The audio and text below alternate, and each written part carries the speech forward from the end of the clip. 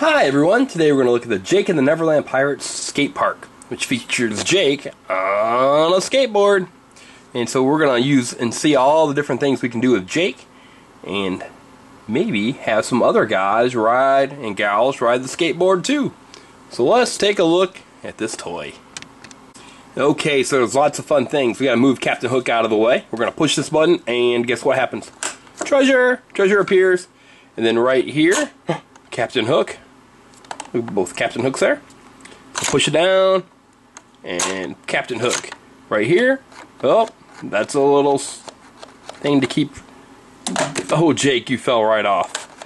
That'll keep him from spinning over too. So we got to check and make sure it's Jake is okay. But luckily, he's wearing a helmet, so he's fine. Okay, so we've got Jake on the skateboard again.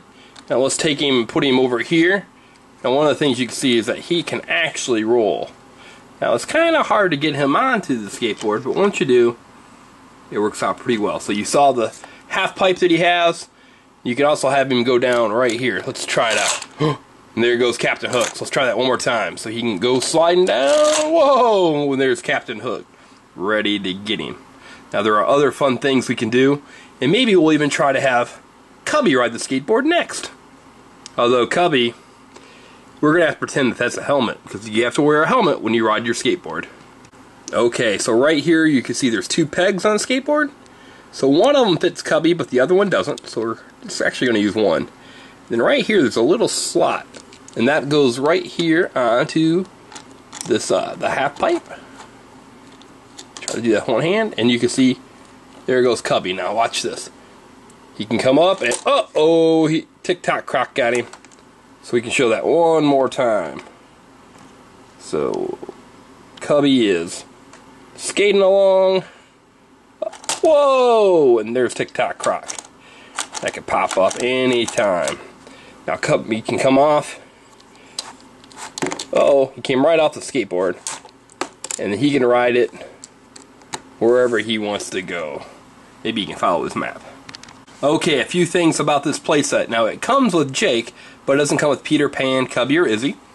Um, it does come with the super fun half pipe that has lots of fun things you can do, including having stops there. You've got your ramps so you can move them.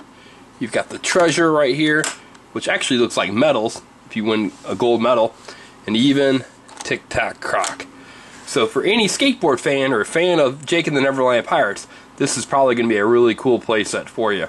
So we're going to give it four stars, four and a half stars. The only thing I, I say is it's kind of hard to get the characters on and off the skateboard. And you can see that Izzy you can't even really ride it. So keep that in mind. But for the most part, it's a fun playset. And remember, on your real skateboard, wear your helmet, just like Jake. Take care and have a great day.